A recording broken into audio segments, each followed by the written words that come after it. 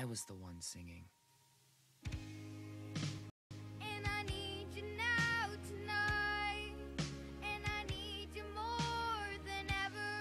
That day, I was so lost in song. I didn't hear my grandma trying to warn me.